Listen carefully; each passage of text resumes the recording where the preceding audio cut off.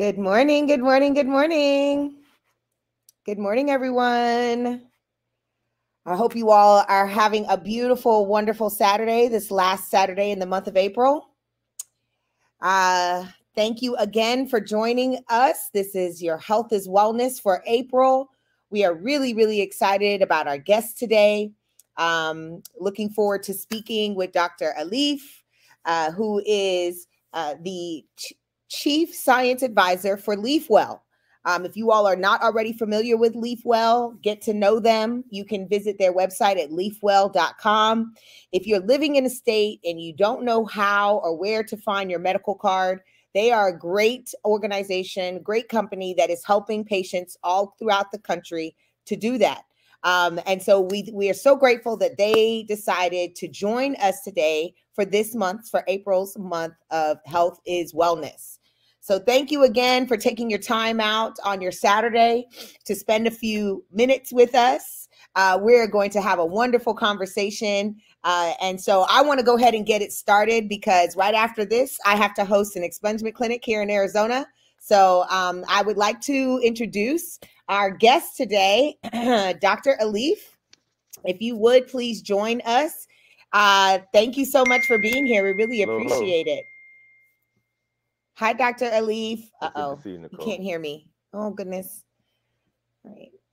I hear you. I hear you. You, you can hear me? able to hear me? Yes, I can hear yeah, you. Yeah, I hear you fine. Uh, Roz, how do I okay, sound? Okay. Sorry about that, folks. I hope you all can hear me. Um, but Dr. Aliffe, thank you so much for being here. It's so great to have you. Well, it's a pleasure being here. Thank you for um, the invitation. Of course, of course. So let's just jump in and um, get started. Could you please let us know um, how you got involved with natural medicine um, and and and uh, understanding um, that natural products uh, have better options for patients? How did how did you get into that? Well, um, I started out with natural medicine before I ever went to medical school or even before I went to high school. Um, my mother and father both attended uh, historically black colleges uh, in Kentucky. It used to be called Kentucky State College. And they uh, were both uh, public school teachers. So my home environment was always full of lots of education and learning. That was like the most important thing because that's how they got out of the let's call them socioeconomic situations that they had grown up in to create better lives for themselves and obviously for us as their children.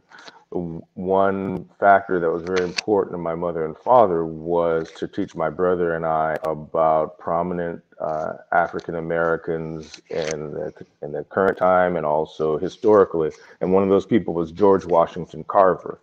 And so I always loved chemistry as a kid growing up. And George Washington Carver did a lot of chemistry in the food and, and medicine space. But most of us, if you go back a generation or two, um, our first medicine came from the earth. It came from plants. It came from eating soil to get minerals lots of things that modern medicine might tell you that you shouldn't do actually were how people stayed healthy and often healthier than people are today.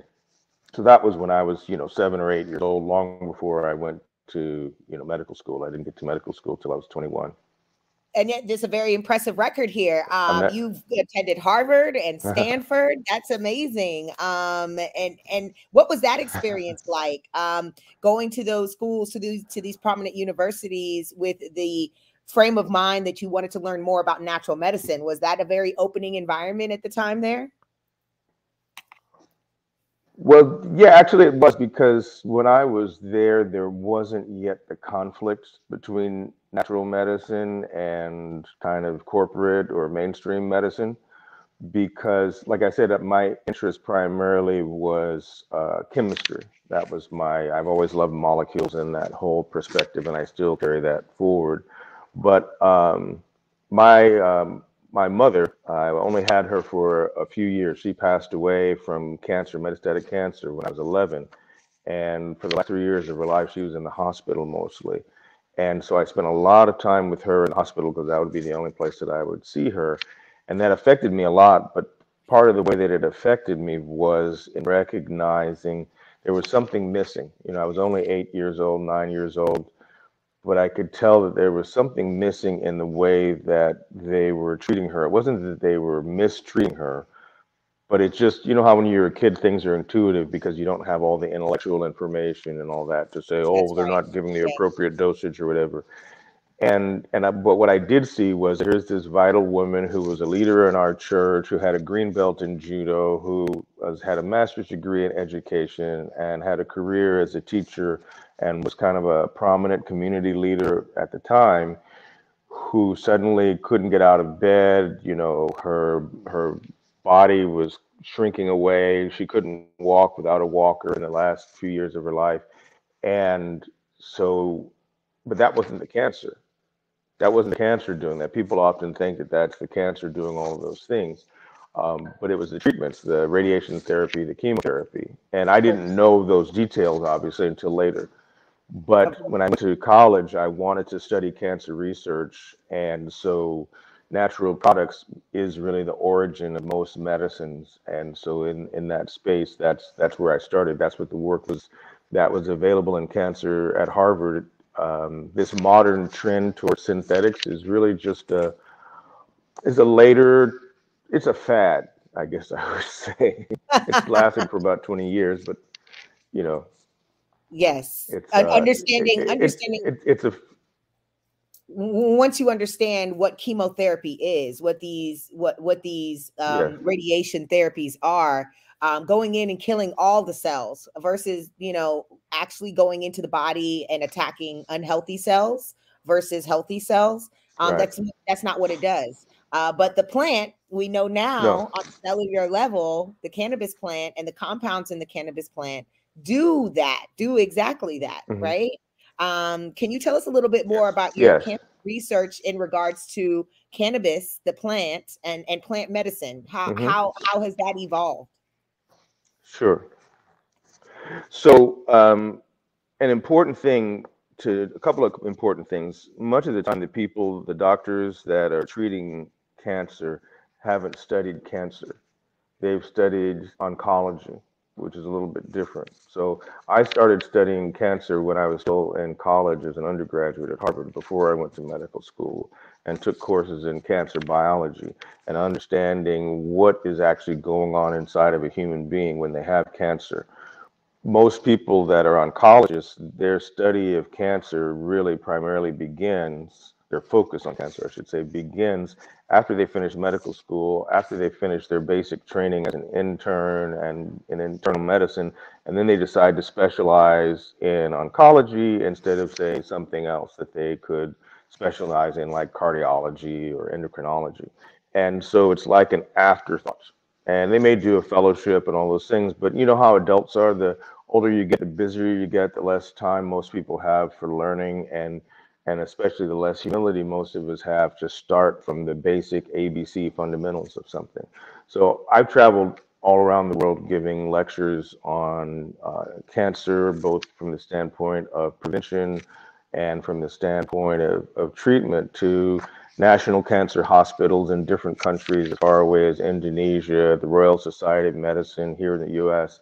And one of the things I found is much of the time the cancer surgeons and the oncologists really aren't aware of what goes on with cancer at molecular level. They're dealing with a disease as opposed to the disease process. And so as you mentioned, yes, the cancer treatments tend to be toxic and because I spent so much time in that space, you know, it's kind of, you know, a lot of times, a lot me myself, when I go to sleep at night, I'm still thinking about what I did during the day, and so I'm going to sleep thinking about cancer. But it it leaves time for different sorts of thoughts to be in your mind as opposed to the nine to five day day things. And what I came to realize is that the Western medicine approach to cancer is very much like, mm, for lack of a better term, medieval yeah. So if you look at that perspective, cancer is treated as an evil inside of the person. And as soon as they have that evil inside of them, right. that person becomes evil, right? Because, you know, like on TV, if somebody's a vampire or somebody's a murderer or whatever, they're no longer Joe, who, you know, is a teacher at the local school.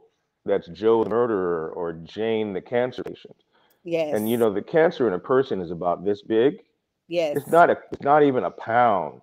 Like a Right. one pound cancer would be devastatingly huge. Okay. Right. Most right. of us weigh over a hundred pounds as adults. Right. And Right. so why does that little thing define Little the ounce. entire person? A couple of So grams. A lot of it has right. to do. It has to do with the mentality and the philosophy that underpins this culture. And so, how do people historically in Western culture approach eradicating evil? It's like exorcism, like that movie, The Exorcist. And so, whatever you need to do historically, like in the with witches, which most of the time were women that were either midwives or healers, but they had these powers to help people and to change their lives. And Was it, you know, men don't always like that. Or was it spells, right? Was it them putting a bunch of herbs inside of a pot and and and speaking words over it?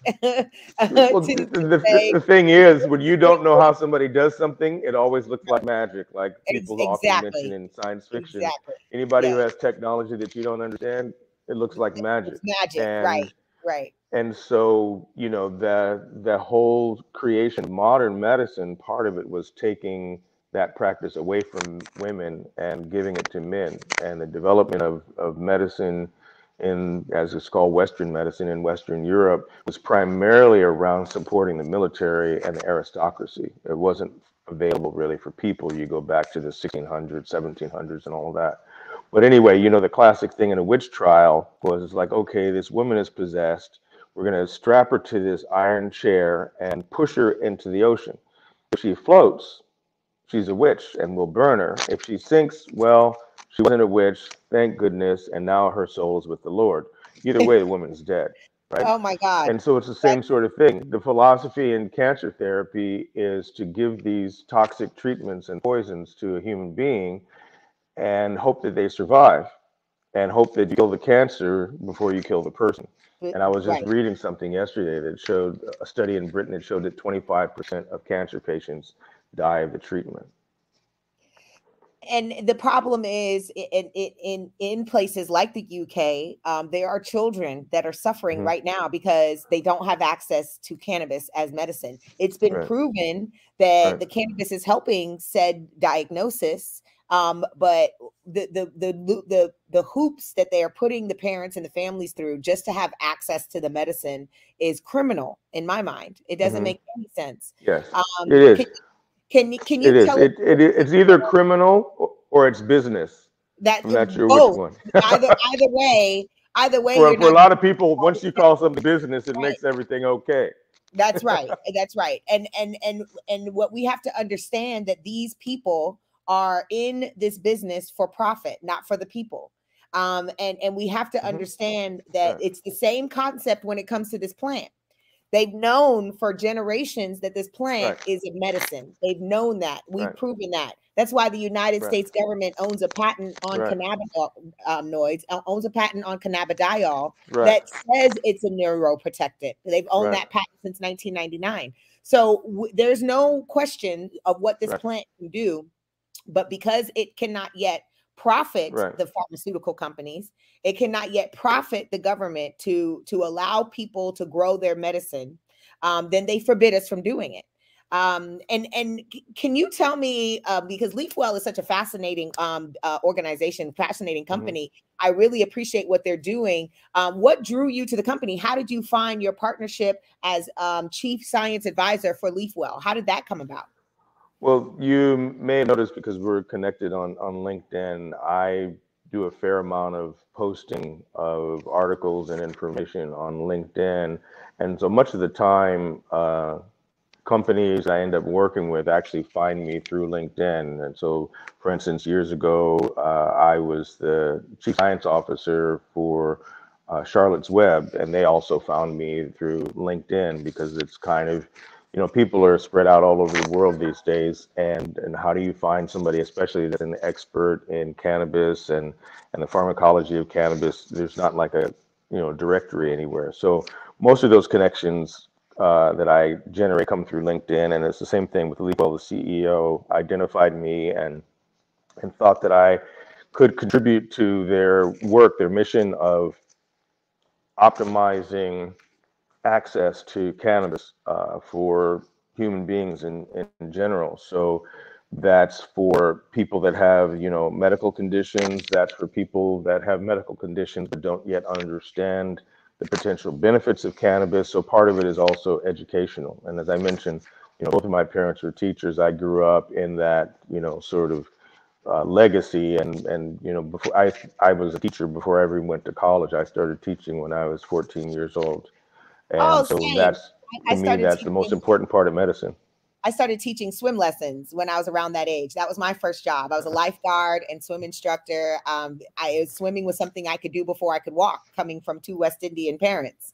So I was yeah. definitely paddling Oh around right, there you go. pool um, before I even learned how to actually take my first steps. Um, and so when when when it came time to find a summer job, it was really easy. It was just it, I was drawn right to um, doing something that I knew I already knew how to do. Um, I just had to get the formal training for it, and and therefore I I, I got a job.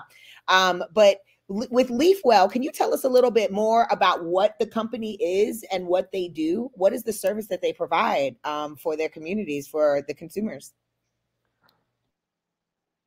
So LeafWell is present present in multiple states around the United States, and as the listeners probably know, each state has its separate guidelines and legal structure for access to cannabis. You know, whether it's available for medical use only, whether it's available for what's called recreational use, uh, what conditions may or may not be included as being authorized.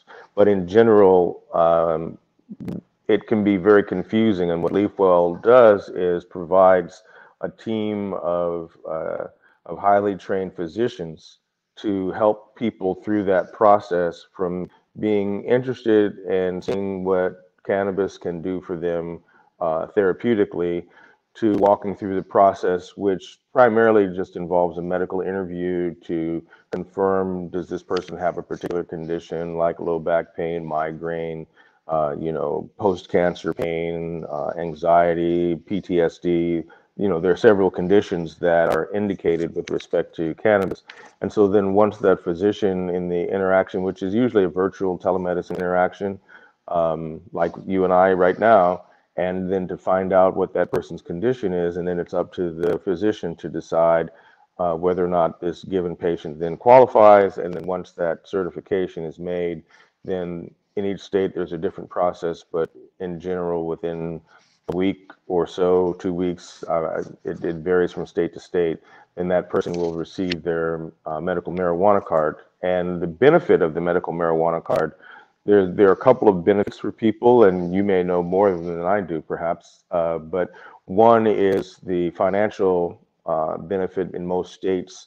The products that are purchased by a medical marijuana patient cost less because its tax structure is less, that sort of a thing. But also for a lot of people, I think there's still a great deal of stigma associated with cannabis or medical marijuana. And it helps people to be able to say, look, you know, I'm serious about this. You know, I'm doing this for my medical condition, you know, not just to have a good Friday night or some sort of thing like that. And, you know, lots of times dispensaries tend to be more shifted in the you know recreational zone as it would be called because that's you know 90 plus percent of their business and so it's not necessarily medically oriented and i'm working to help some dispensaries change that especially here in my home all, state of, of washington do you all um, do you all help the patient decide or determine what form of the medicine to use? For example if you're dealing with a cancer patient um, then you're not going to probably recommend any edibles that have a bunch of sugar in them. Um, but if you're dealing with someone that maybe has some breathing issues right there they might not want a, a, product that they have to smoke. mm-hmm. So, are you also educating the consumer or the patient on how on the different forms of using the plant, um, and as, as, well as what their options might be in that regards, and, and making sure that they understand, you know, onset and duration, those kind of things. so, uh, no, that's an excellent question, Nicole. So, as you know, this country, this culture, and its culture of medicine doesn't really allow that much time in the interaction with physicians in general. And so one of the things that I'm bringing to LeafWell is an enhanced uh, dashboard of available information, both what's available online as far as things that people can read, studies, statistics, that sort of thing, but also, uh, you know, events, webinars like this one to engage directly with medical marijuana patients or to present information as well for physicians because, you know, physicians aren't trained in medical cannabis in medical school. There's no specialty training um, in the pharmacology of cannabis or the endocannabinoid system, which is the endogenous system within the human body, a physiologic system that is responding to the feeding of that system with cannabis, kind of like giving vitamins to your bones and muscles and you know liver and kidneys, that sort of thing. That cannabis is right. in some ways like a vitamin for the endocannabinoid system. So right. there's a there's a a long kind of process of educating both the health professional community and also the patients. But for me, it's a great thing because I grew up in, in Detroit and, you know, and my family, not just me, but my family was also African American. And uh, which is, you know, these days you have to make that distinction. You can't assume anymore, right? Because people right. are being raised That's by right. all sorts of different people. That's right. And and so one of the things, because my parents I, I don't tend to talk about poverty as a disadvantage or victimization because they never presented it that way. But as we mentioned in the phone call that we had, you know, my mother grew up in, in like a shantytown house with chickens running around the yard and, and her four sisters and her mom. My dad used to joke about that he and his mother um, moved every time the rent was due and that apparently his father wasn't around that much. And but one of this thing of living at that level that then they went on to get college degrees and even graduate degrees they both had master's degrees in education but it was very important to them to always respect individual human beings and my father used to write stories and poetry and he had this one story that was called willie and the graduate and it was about this guy who had left the hood you know kind of thing gone off to college gotten his degree, was walking around with his, you know, graduate hat on, coming back to the neighborhood, and he was being disrespectful to his old friend Willie that he had grown up with. And Willie was like, "Well, you know, you've learned all this stuff in college, but that doesn't mean you really know about life." And it was very important to my parents that you know I need to know about life because life happens every time you put on a hoodie as a young African American male. That's and right. it doesn't matter how much you understand calculus and pharmacology, you know that people aren't necessarily judging you by the content of your character yet and but right. so it was always important to be able to connect to people at whatever level they're at because you can learn something from anybody on the street even somebody who is homeless may not be educated and maybe even have a substance abuse problem but that person is still alive and doing their day-to-day thing. And you know if i didn't have any food i wouldn't know where to find food. So i can That's learn right. something from a homeless person. And you know so so it's like why would i shut off this brain if i can comprehend harvard and stanford and calculus and pharmacology why would i not also expand that into all these other realms of humanity so my focus is to be able to educate people exactly where they are with the level of knowledge they that they have Absolutely. and i like the flat playing field because a lot of patients know more about cannabis than the physician. so i don't talk down to patients because that, that's uh, my you family have to meet them you have to meet them where they are and it's not talking yeah. down as much as it is no, just making sure that they understand um and right. you know because when we start talking about phytocannabinoids and the endocannabinoid system sometimes we lose people i can see like the, the glaze comes over their eyes they're like you lost me at endo i don't understand what else you said after right. that um and so right. it's you have to try to explain it to them in, in the best way that they uh, they can understand um, that the compounds found in this plant, the DNA of this plant, can help to manage and mitigate your symptoms of your disease better. Can can can make sure that you can come off of opioids. Can make sure that you can safely come off of any type of drug addiction. Um, I know that this plant has mm-hmm. been put into the category of a dangerous drug, but you actually got lied to. It's not that, it's medicine. Um, and so having to change the way that people think about the plant, I, I completely understand. As an advocate, um, it's something that I'm doing daily and constantly. So while we have the moment, um, could you kind of go over mm-hmm. with us what are the most common ways of cannabis um, um, uh, usage? Can you share with us? Um, mm-hmm. You know, usually there's about four sure. that come to mind automatically. Can you share with us what are those most common ways of usage, and then also what are their onset? What are their duration? So how long that means, how long does it take? it I, I, know I'm not, I'm explaining this to you, but I'm really mm-hmm. explaining it for our audience. When I say onset. Oh, no, no, no, it's okay. It's okay. Yeah. When I say onset, I mean, how long does it take before it actually becomes into effect? Um, once you take it, and then also the mm-hmm. duration, mm-hmm. of course, meaning how long does that high or how long does the effects of the medicine medicine last? Okay, so when just quickly before I address that, to address something you just said about that cannabis being classified as a dangerous drug. With an open mind, I could say yes, it is a dangerous drug because it's dangerous to pharmaceutical company profits. And so, from that perspective, it's very dangerous, and people protect their own interests. And there are already studies that show a great decrease in the use of both opioid drugs and what are called benzodiazepines, which are common anti-anxiety uh, drugs, both of which, of course, are psychotropic. People think that cannabis is the only thing that's psychotropic, but uh, the opioids and these benzodiazepines. And so the safety profile of cannabis is much greater than, say, benzodiazepines and opioids because you won't find people on the street having used quote unquote too much cannabis and they can no longer breathe and die. That's what happens with opioids. The same thing That's with right. benzodiazepines, and people easily become addicted to the drug and keep taking it not because it's still helping them, but because they can't stop without going through withdrawal. So, um, right. so there there is a danger in the sense of being disruptive to the status quo. Um, and the danger also that people, especially in the states where people are allowed to grow their own cannabis, that in, is you know endangers the the business opportunities of people that would rather make money off of people's illness uh, than necessarily see them get over their disease uh, or condition on their own and be able to manage it on their own. So you know there's a history.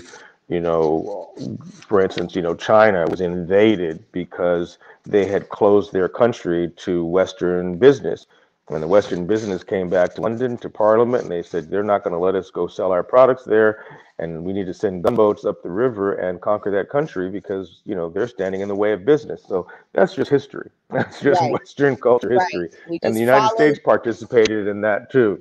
Follow the money. Yeah. Follow so the money. The, that's always what yep, it comes to. The follow Roosevelt Roosevelt funny the Roosevelt family made historically made their uh, fortune to become a very wealthy, prominent family by selling opium in China to subjugate the population.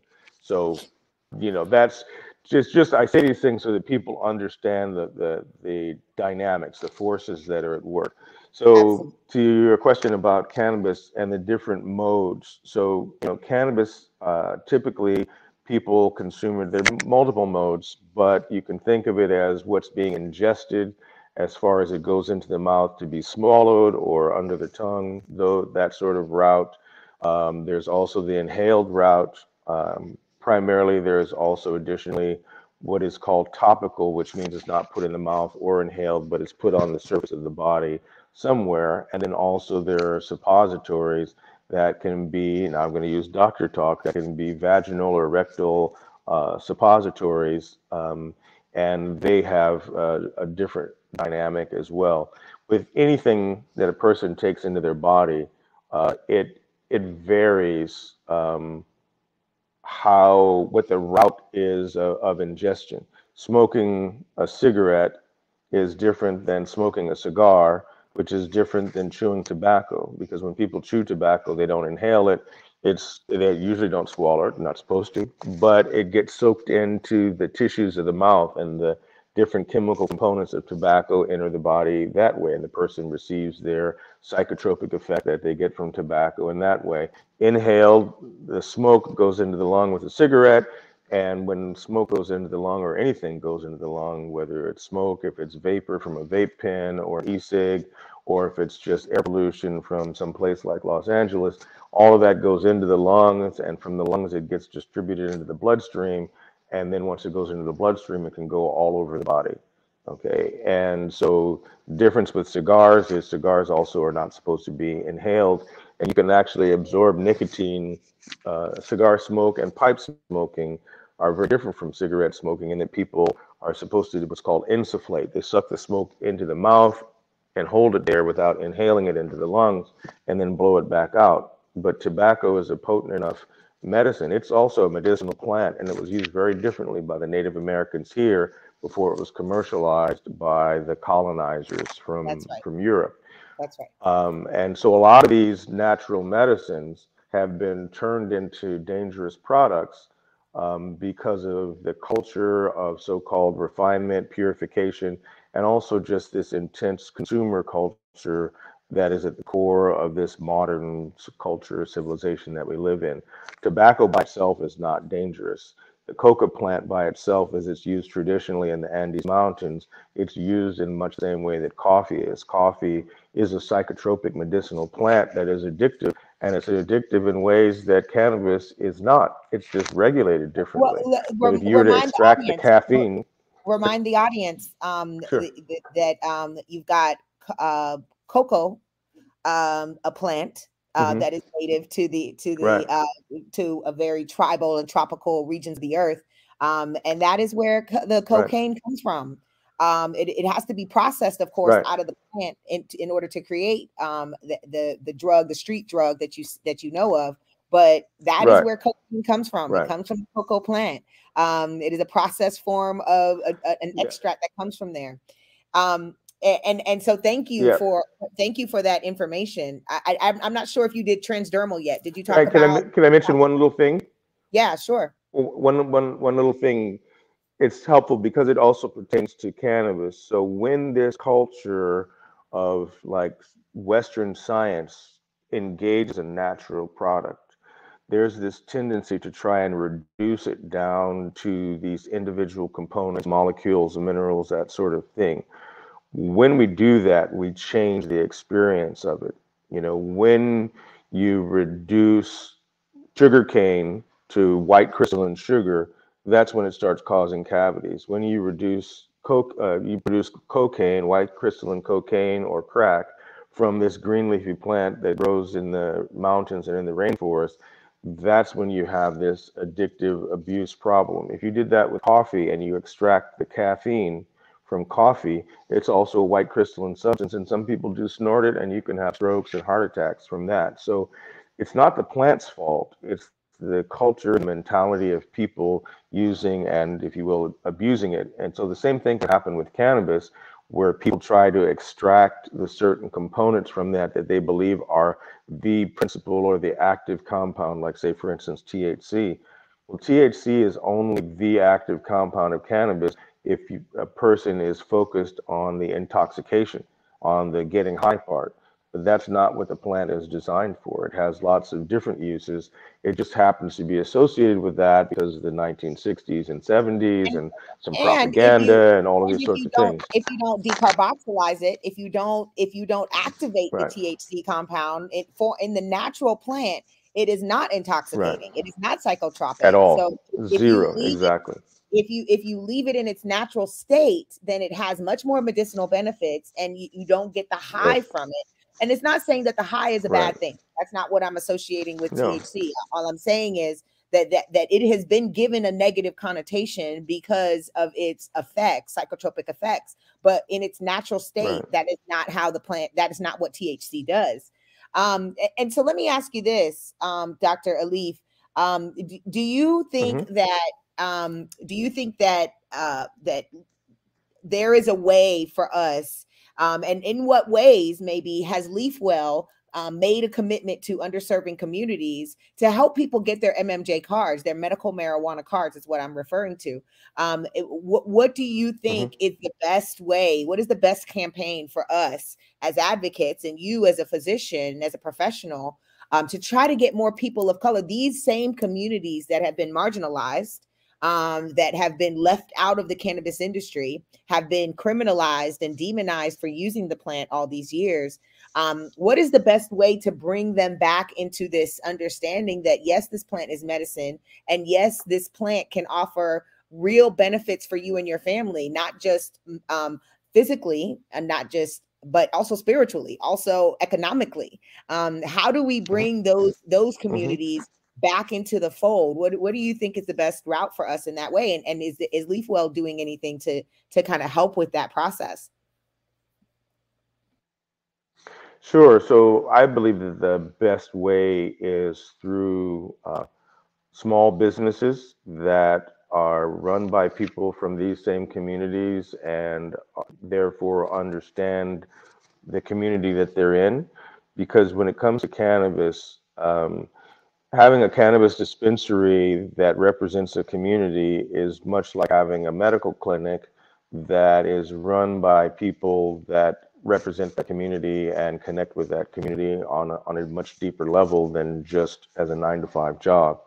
With cannabis, there is this disconnect because of the odd regulations. And so a person gets a medical marijuana card over here, they go to a dispensary over there, but that dispensary is not able to talk to the medical marijuana card physician because there's a barrier for physicians when it comes to actually managing a patient who's taking medical marijuana. There's all sorts of weird politics in there. And so, but in working with dispensaries and also with activists like yourself, uh, people that are knowledgeable in the field, um, we can work to provide, for instance, you know, uh, information sessions like this to help people understand the plant beyond the stigma and the propaganda, but to really understand what's going on, to really understand that, you know, cannabis is a medicine, but I would take it further to think of it as a functional food, as a basic nutrient that's been missing. Because when you have undernourished people, if they're not getting the right vitamins, they come down with diseases like, you know, scurvy and and so right. there are diseases. Scurvy used to kill more people, you know, lack of vitamin C used to kill more people than cancer. And when, when the cure to scurvy was discovered by the British historically, they hid it from the rest of the world because lots of soldiers, again, remember I told you, medicine and war, soldiers um, would die of scurvy, and it was uh, common for you know a significant percent 10 15 20 percent of these young healthy soldiers that are marching off say england to do battle with the french napoleon all that that 15 percent of them may die between when they leave the barracks and when they make it to the battlefield because you know they're on foot they're not on horses horses are for the aristocrats. And when it was found that there's a way of treating this scurvy and when you're sending these sailors out in boats to go uh, capture and deal in the trade of slaves in West Africa and bringing them over to the New World, that these people that are out at sea, if you start losing sailors, then you're losing business. And when they found that uh, that certain plants would block this progression of scurvy, supposedly it was started with eating of grass, just regular grass like on your lawn grass. It wasn't even citrus fruits or any of that because the understanding of vitamins didn't exist for another hundred years. At that point, um, right. But yeah. when they found that, they kept it a secret. It was a nationally guarded secret that if you divulge that secret to people of other countries, you could be executed as a traitor. So follow the profit. Follow the money. hey, follow you know, the money. So, follow yep. so, the money. Yeah. So, but if, if you don't get enough vitamin C, you can't make hair, bone, skin, fingernails, blood vessels, all sorts of things that to us we take for granted because we're kind of overloaded with food these days. It's not always the most nutritious, but to the extent to which um, Americans tend to overeat, it's very unlikely that someone is going to end up with vitamin C deficiency. So we don't actually right. have a chance to see what that looks like. And so cancer seems very scary, but vitamin C deficiency is basically unknown. You barely even study it in medical school. I just happen to study it because I, I like to know the connections between the society, its history, its business and military and political interests and what happens and to the people medicine. that are caught in the middle medicine. of that and their That's health. Right. And yeah. so this is the same thing with cannabis that you mentioned raw fresh cannabis not having any THC that it just has the primary form the THCA which is not uh, intoxicating right. that right. if someone was to juice fresh cannabis especially like say they grew it in their garden that's really a green juice food yeah, but it absolutely. would still provide the same and in many ways more of the healing benefits than the burned helping to prevent inflammation or, or the curated Yes, and so a lot of the problems that people have Yeah. Yeah. Yeah, that's Yeah. right. Um, and so even for Sebi- that's what I tend to advocate first even even Dr. Sebi says that um, the cannabis plant is an alkaline plant, um, and and he's talking about it in its natural raw form. Right, it it, it, has more alkaline properties Mm-hmm. Yeah. in that form than when you burn it or when you cook it or decarboxylize it. oh yeah Um, so uh, in our last few Yep. minutes, um, before we wrap up and leave out of here, um, I want to thank everyone for joining us again this Saturday. But I just want to do a few quick questions um, uh, that you could answer for me, so we could get to know you Can just a little bit better. But Nicole Yeah, I just one quick thing before you go to Yes. this question because you mentioned before cancer and we left it behind. I'm going to Yes, post this on LinkedIn sometime this week. yes, but- of course. Here's a thing for people to consider when they're thinking about uh, cannabis for cancer specifically. Yes, sir. Don't worry about the science. Don't worry about the clinical trials and all that.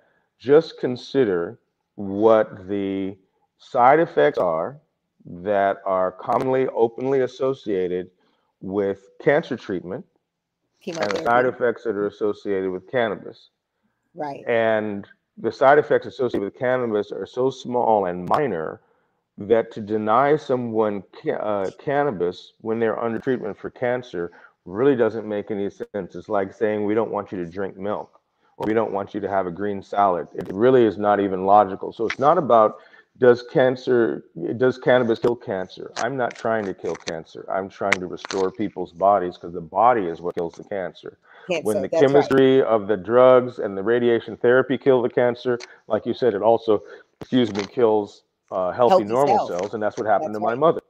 That's right. So, but it's really about supporting the body in its own wisdom and its own vital power to resist disease, and whether that disease starts with a C like cancer or a C like COVID, uh, it has an addiction like cocaine.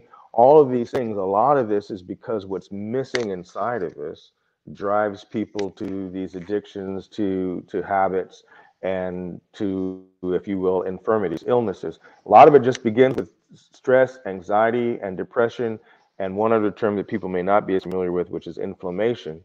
And cannabis addresses all of those. If you eliminate, eliminate the inflammatory problem that can lead to cancer, that can lead to heart attack, that can lead to stroke, that can lead to inflammatory bowel disease, that can lead to metabolic syndrome and diabetes. If you normalize that in the body, a good 80% of the chronic diseases that people take medications for, and the medications will often go away. sicker, Will disappear. that, it it's That's right. gone. It's That's gone. gone. Right. Don't even have the disease. Can't even find the disease in your body anymore. Um, once you give the body what it Yeah. needs to heal, it will heal itself. That's what the body does.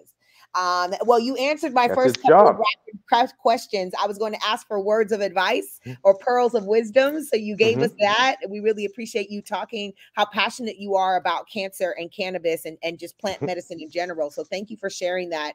Um, can you share with us maybe any future Sure. projects that you might have um, that are coming up that you want the folks to know about? Sure. So I'm working with some other uh, dispensaries, as I mentioned. So later, maybe in a week and a half, uh, I have a web- webinar coming up with a dispensary that's in New Jersey. And again, working to help people to understand how cannabis can benefit them. And probably the thing that I can do the most, what I'm promoting kind of nationwide, worldwide, is this concept of therapeutic cannabis not medical and not recreational. Those are categories that the legislators created, and lots of people like those categories. I don't. Okay, if they don't call coffee recreational, right? Right. And recreational makes it sound like you know, oh, you're just kind of playing around and you don't really care what happens. And so, in that therapeutic space, somebody may be, if you will, smoking a joint when they come home from work to decrease that stress level after being in commuter traffic or on public transportation so that they're not a crazy man or woman with their spouse, their kids, or whatever, so that they can actually be the, the kind of person that they would choose to be. Okay. that is a therapeutic functional. use, but they may not have a qualifying medical condition. Right. Okay. And and so I encourage people to understand that therapeutic includes things like massage and yoga, both of which have been shown to support the endocannabinoid system, which we unfortunately have enough time to go into.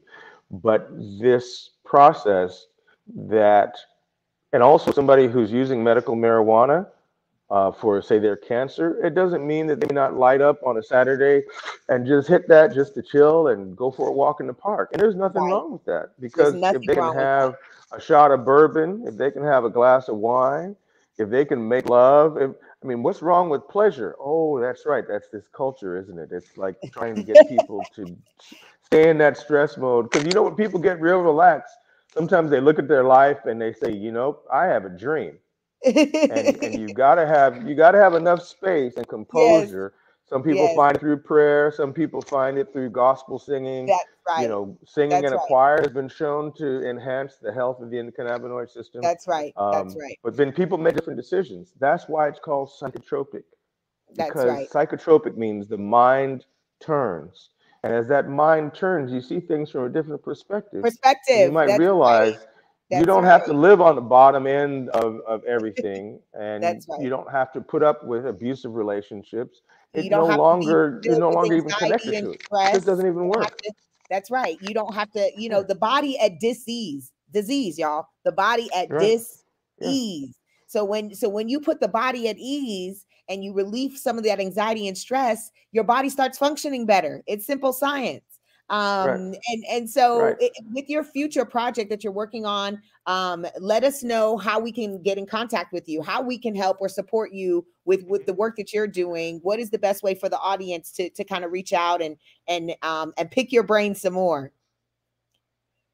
the best way to find me i would say is is linkedin i don't have a, a website because Okay. I'm, I'm, a little bit too nerdy. I'm always I spend all day reading and doing things, and I allow other people that are much more kind of charismatic like you to help present me to to the world. But I am definitely present on LinkedIn, and okay. I say things sometimes that people don't expect me to say. I made a post last week showing people that Viagra and the other drugs like that are really used as recreational drugs. If you're going to talk about recreational marijuana, you should start talking about recreational Viagra that's I have right. upcoming posts showing people that drugs like ibuprofen and Tylenol that people use for pain, they're psychotropic drugs. They actually That's have documented right. psychotropic effects.